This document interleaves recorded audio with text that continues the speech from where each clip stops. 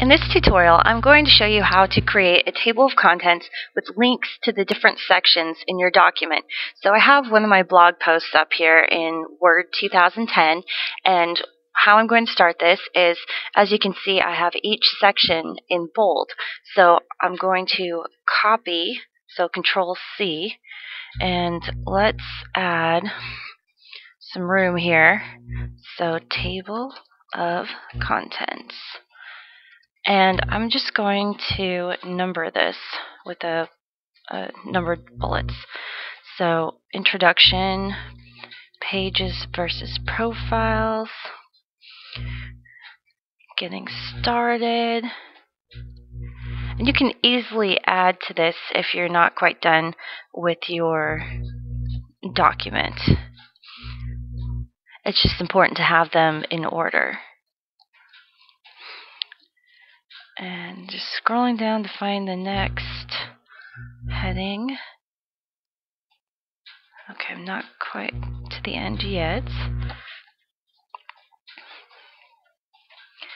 And image dimensions.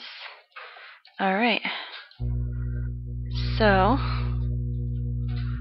I have uh, my table of contents here. And now I need to create bookmarks throughout my document. So I'm going to highlight a section here, and then I'm going to go up to Insert, and I'm going to choose Bookmark. And I want to name this something um, easily identifiable because I'm going to need to link it. And if you have chapters or numbered sections, that's a really helpful way to organize this because it's going to put them in alph uh, alphabetic or numeric order.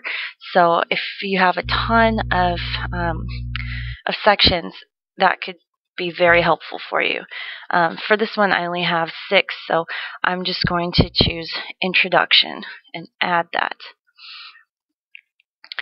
And uh, I'll do the second one because it's a little bit different. So again, highlight my the area that I want to uh, create a bookmark in. Click on bookmark. So pages, um, and it doesn't allow spaces, so you'll need to use underscores or some other type of character. Pro oops, profiles, and you can just copy and paste in there. I just didn't. Okay, so once you're done doing that to all of them, you're going to want to go up to uh, the corresponding uh, area in the table of contents, highlight it, and then go up to hyperlink. Um, now, I want to go to a place in this document, and you can see here it is right there. So text to display introduction, and then that matches with introduction. So I'll click OK, and there it is. Same goes for this one hyperlink, pages versus profiles. Okay, and then so on. And then usually you want to maybe space this out a little bit. And then put the rest of this on page 2. There we go.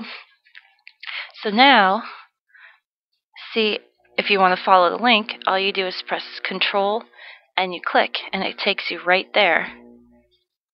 And something else you can do is you can create one uh, that says back.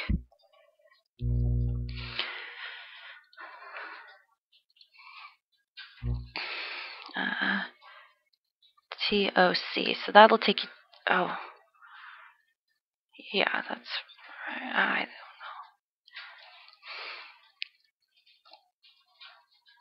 know. Oh, I'm sorry. I totally screwed that up. I did that backwards. So that's what we want to. TOC home is what I'm going to name that. So now that we're here, we want to insert a hyperlink.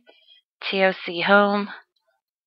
So you can click to go to the introduction and click to go back. So that might be something that you want to add to each section. So when you skip there, you can always go back to the table of contents. And this is great if you're sending a, a document to a client or um, you know it just it just makes things a lot easier. So thanks for tuning in today. Don't forget to subscribe to my channel. Check out my blog at sallyu.com and have a great day.